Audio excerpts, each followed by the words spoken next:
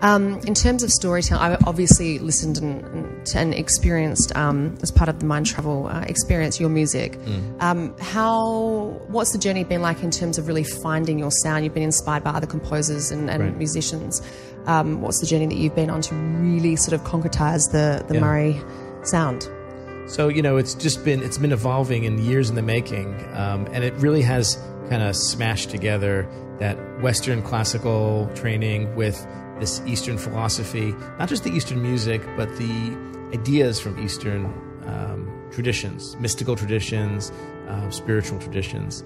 And so when you read about a lot of this stuff, it's kind of like, okay, how does that how does that sound? So I, I, I, as a composer, I start with the question of what would the universe sound like, and I don't mean literally to our ears. Beautiful. because as we know, like you know, out in space, it's a vacuum, so sound can't permeate. Right? There's no mm-hmm. medium for which it can transfer. Travel. So then it's about not what it sounds like to our ears or or physically in that way. It's more like if the universe had a sound that we can hear from its hidden side, right? Beautiful. The, the hidden side of the universe Wow. that's not just the physical material. Mm-hmm. Because when you look out in space, everything we see, all the stars and planets and just you know the physical universe we can mm-hmm. we can measure is only about four or five percent of what's out there, right? The rest, as physicists tell us, is this dark matter and dark energy, which we can't really experience directly Right.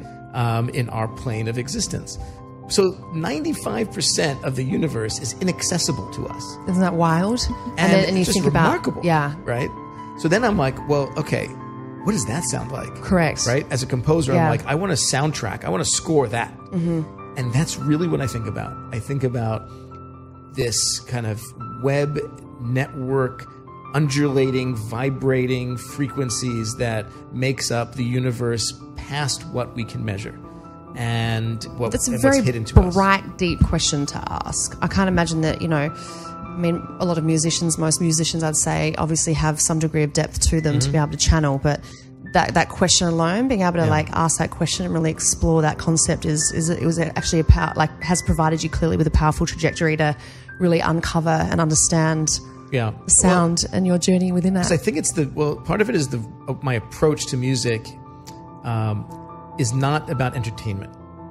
So a lot of people go into music or you know theater or whatever it might be with the aim of entertaining people and creating a you know that experience, and that's wonderful. Um, it's an incredible art form to do that.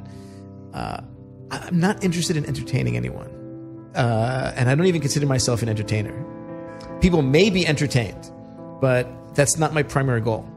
Uh, my main goal is to use music to access deeper states of being. of being and of consciousness for myself.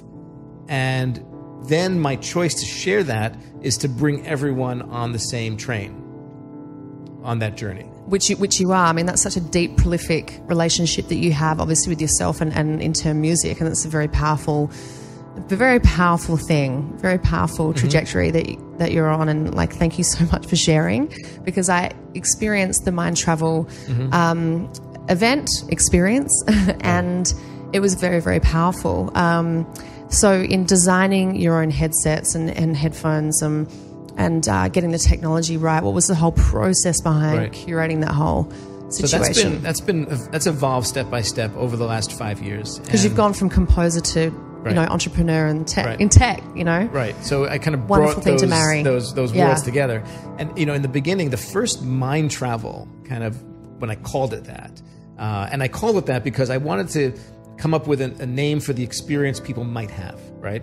Uh, and I thought of my own experience with it, and it's it's it's an experience where kind of I go on this journey in my mind. And so that's where sitting at my dining room table with a friend of mine, like that's where mind travel, that's where the name came from. I said, well, that, that feels right. I'm going to go with that. Because again, it was about the experience people were having versus come see Murray Hidary, right? Come watch me play, right? That's that's you go. You go to you know the theater, you go to a show, you go see a certain artist, and that's the way we talk about it. You're going to see you know X, Y, and Z play.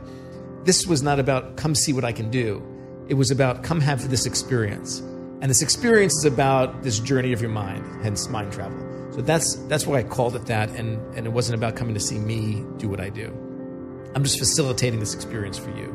So that's first. Then, so the first one I did was here in Los Angeles in my living room, and I invited some friends and friends of friends, and about 40 people came, and we all sat and lied down in my living room, uh, you know, in front of my piano, and I took people on about a you know 30 plus minute continuous experience, and um, and afterwards, uh, I had a friend with a video camera in the other room, and I just asked people if they wouldn't mind for a minute sharing their thoughts about the experience.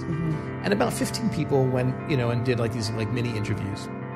And the next day I watched them, Georgia, and I was like moved. Yeah, like, did it make you cry? Emotionally. Yeah. I- yeah, I was Yeah. moved. And I was moved by how much they were moved. Mm. That's what happened.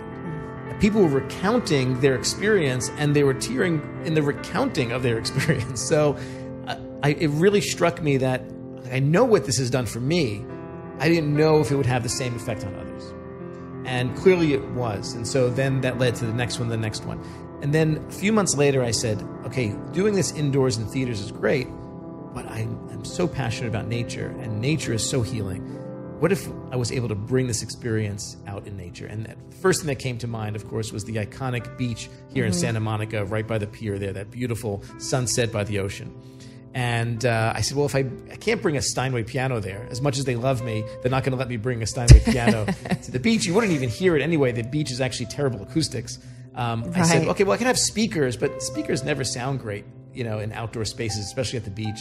It's windy, the ocean sound. I said, well, what if the whole audience was wearing headphones?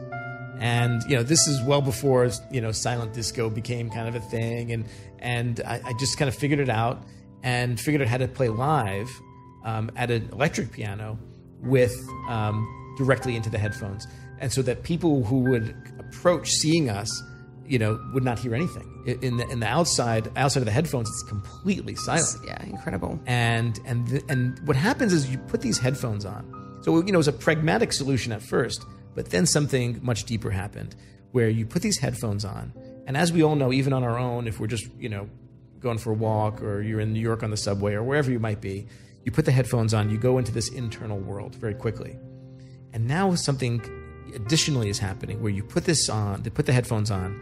I then take you on this journey internally, but then at some point you look around and you see that you're sharing this personal, intimate, individual experience with so many other people.